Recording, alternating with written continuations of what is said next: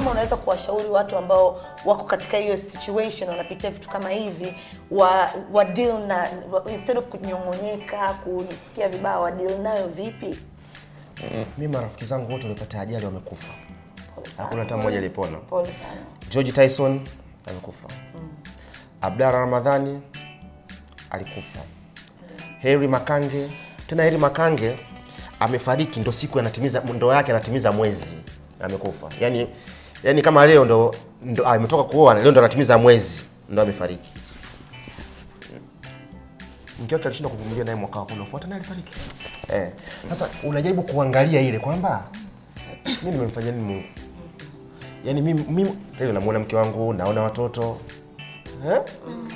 kwa hiyo unam- unamweka tu Mungu karibu. Sasa mimi Mungu ananipenda eh, mimi nilikuwa- na nini mimi mpaka nipone Mm, kwa kweli tuna tunatamani pia kupokea simu kwa kwe mtazamaji, kama kuna ambaye umepitia pengine kisa cha namna hii. Uh, tumeona kaka Meshaki alipata ajali ilomfanya hakuona kwa siku kadhaa, lakini mke wake hata mpaka anarudi ni kwamba alikuwa anasimama pamoja naye. Unaweza kaa ulipitia hichi kisa na wewe labda ulikubalika ama uliweza kukataliwa. Kupitia wewe nadhani watu waliweza kujifunza. Kwa hiyo unaweza kutupigia kama una kisa cha namna hiyo, ama pengine una mtu wa karibu kabisa kupitia namba ya simu ambayo inapita chini katika uh, screen ya runinga yako. Sasa Mesha, natamani sana tujue kwamba wewe unadhani kwa nini watu wengi akishaona labda mume wangu ka, ka, ka, ka, ka, kapata ajali, kwa mfano mimi na mjomba wangu uh, alikatika mkono.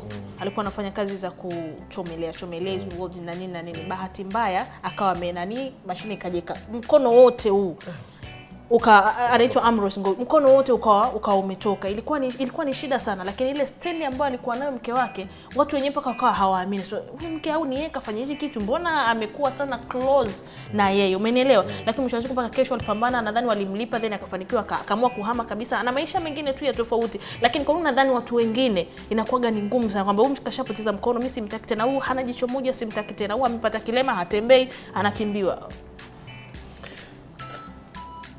Nawaambia hata ndugu zangu hata sisi tu hapa watoto wetu tutakaojaliwa kuwapata tuwasomeshe dini ukishakuwa na dini ukishakuwa na mungu hivi -hmm. vyote huwezi kuvifanya Okay, tuna, tuna simu, tutarudi tutarudi tukuja kulizungumzia.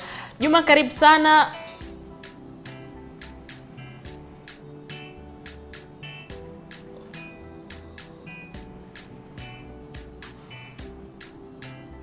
Naona uh, simu ya Juma imeleta shida. Hakika kama una lolote ambalo unatamani kulichangia kushare pamoja na sisi, kama ni kisa ambacho umepitia ama una historia kama anachoelezea hapa kaka Nzoa, tupigie simu kupitia namba ya simu ambayo ipo katika screen yako. Turudi sasa. Mm -hmm. Yes, kwa nini inatokea kama hivi? Mtu nduki, mwanamke kakimbia au mume kakimbia.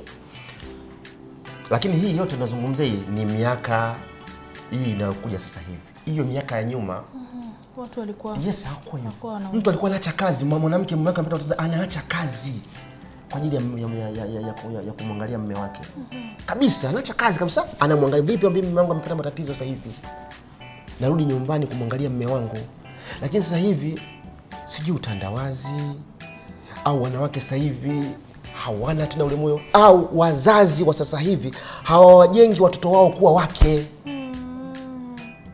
Sijui umeelewa? Hawawajengi wat- wa- wa- watoto zao kuwa kesho kuwa mke. Sio kila mwanamke mke je kajengwa huyu? Mm, kwa sababu zamani tulikuwa tunaambia utaenda kuishije kwa watu wewe. yaani ukivu, akivunja tungo.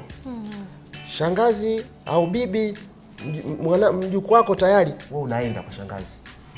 Unamuona shangazi anavyomhudumia mme wake na wewe uko mule mule. Asubuhi kakuamsha utatenga maji yeye atafagia ua atafanya hivi.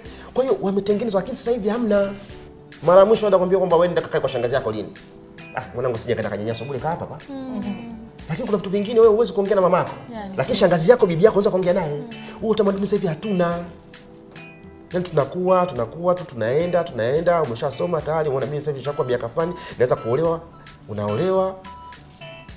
Kama unasoma una eh, lakini bado lakini hujajengwa hujapitia hayo. Kwa hiyo unaweza kuona "Ah, mimi siwezi mimi siwezi kukaa na mtu. Vipi? Ah ameshakuwa mimi siwezi kukaa naye